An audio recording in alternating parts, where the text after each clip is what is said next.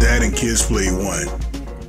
From superpowered mutants who can fire large optic blasts from their eyes,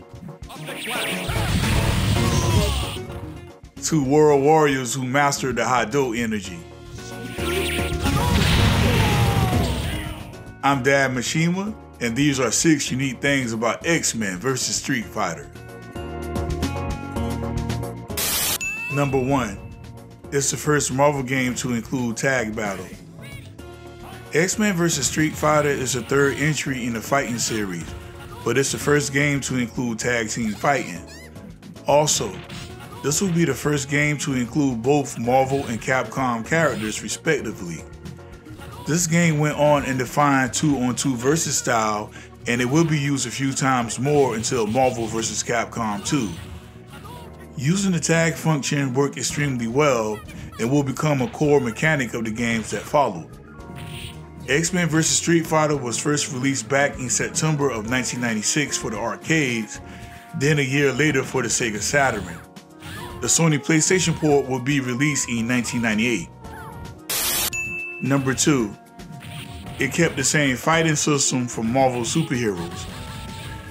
Marvel Superheroes had course corrected X-Men Children of the Atoms broken combat system, which gave every character a launcher and added overall balance in the game.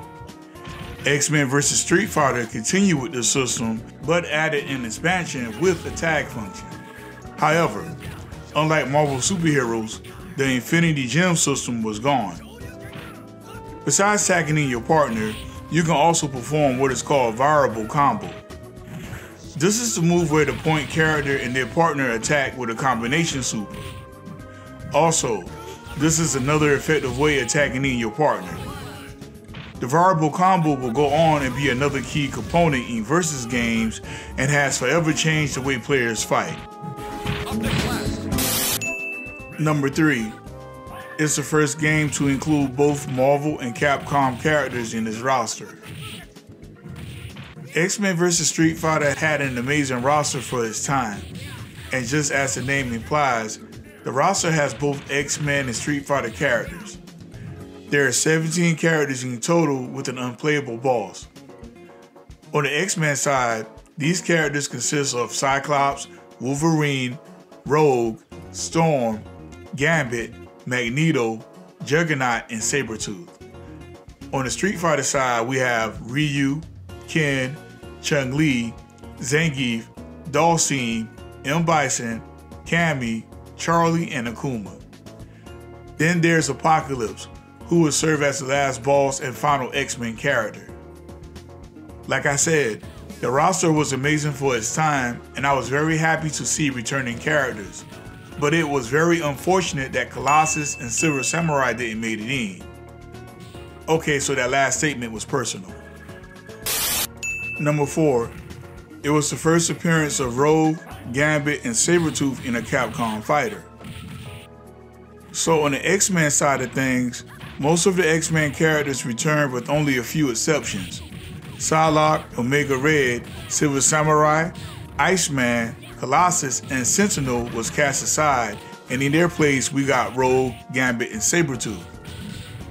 Rogue, who can be summarized as both a rushdown and dash style character, was a great addition to the game and to the series as a whole. Gambit was a cool mutant who was good with mix-ups and can unleash the deadly hyper move called the Royal Flush. Then there's Sabretooth who is massive in size but don't let that fool you because he's very fast and nimble.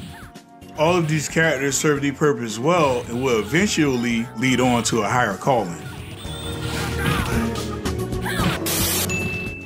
Number 5. The Sega Saturn port was almost arcade perfect. The Sega Saturn may have lost the war in the 32-bit era of gaming, but it kicked serious butt when it came to 2D fighters, and X-Men vs. Street Fighter was no exception. This version of the game included most of the characters' animations and with a constant frame rate. As a matter of fact, this variation looked and played so well, it was almost arcade perfect. However, the PlayStation will receive a port of this game the following year, and let me tell you, I was so disappointed. This version has missing frames from its animation, and due from the PlayStation memory limitations, you couldn't tag at all. Nevertheless, the game was still playable, but at the expense of what truly made the game different. But yeah, the best way to play the home port of this game is definitely on the Sega Saturn. For 6, Street Fighter Alpha version of Chun-Li is a secret character. If you love Street Fighter Alpha, then I have good news for you. There's a cheat that allows the player to select the Street Fighter Alpha version of Chun-Li. To do this, highlight Chun-Li in the character select screen, then hold start and press any button to select her.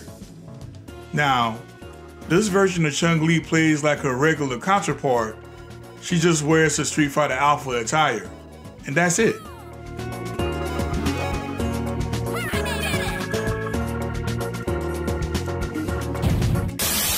Well, everyone, that's it for this video. If you have anything you would like to add or if you have a question, feel free to leave a comment. With that being said, I'm Dad Mishima. See you next video.